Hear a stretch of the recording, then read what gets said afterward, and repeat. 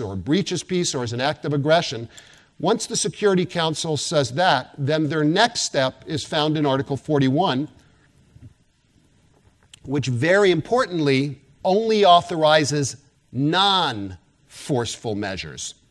So 39 says we have a situation, we're in charge. 41 says, okay, now we have to consider non forceful measures. Uh, these uh, may include uh, on, the, uh, on the PowerPoint, is actually from the Charter. These are examples set forth in the Charter. The most common, economic sanctions. Okay? The most common, economic sanctions. Now, in